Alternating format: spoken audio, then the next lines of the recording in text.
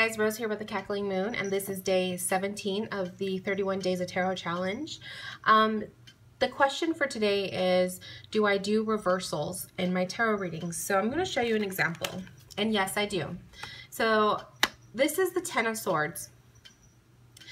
The Ten of Swords in a reading would typically signify somebody who's going through a lot of um, bullshit, a lot of hard work, a lot of craziness, a lot of chaos, a lot of, um, you know, backstabbing, um, just not being treated right, exhaustion. It could be like a bunch of different things basically.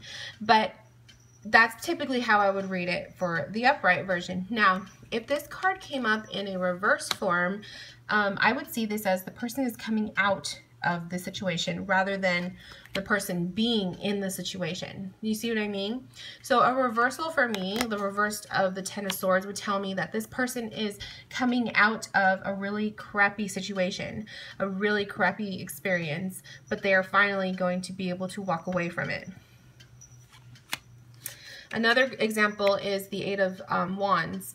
So the Eight of Wands upright tells me, um, you know, if it was a yes no question yes. Or if it was um, a question pertaining to what you should be doing what you should be focusing on this would say get get a move on move forward go forward um, look into the future type thing now, if this was in the reverse, this tells me that this person is either constantly looking in the past because of the direction that the wands are moving, or that this person um, is stagnant. They are not motivated.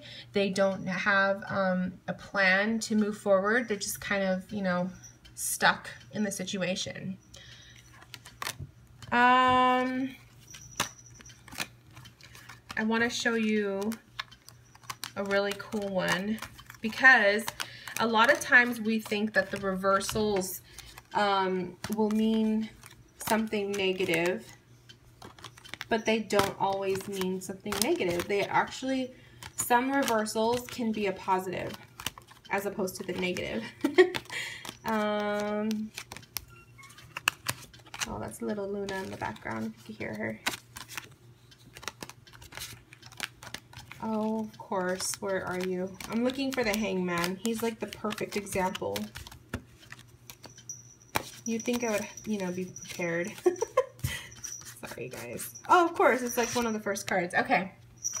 So, here's the hangman upright.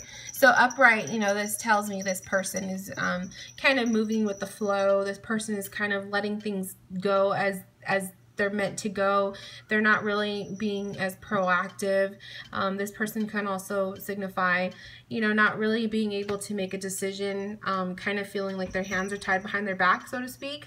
Um, and then the reversal shows a kind of a, more of a positive. To me, the reversal of the hangman shows somebody who is very inspired, someone who is um, ready for ready for advancement. If you could tell, like, the reversal shows, it looks like this, you know, obviously he's hanging upside down, but in the reverse form, it looks like he's dancing or he's standing upright, you know, he's not even hanging. So that just goes to show what a reversal, how, how different the reversal can make them, their whole reading. It could change the whole, um, feeling of the reading. So yes, to answer the question, yes, I do read reverse reversals, especially with the tarot cards.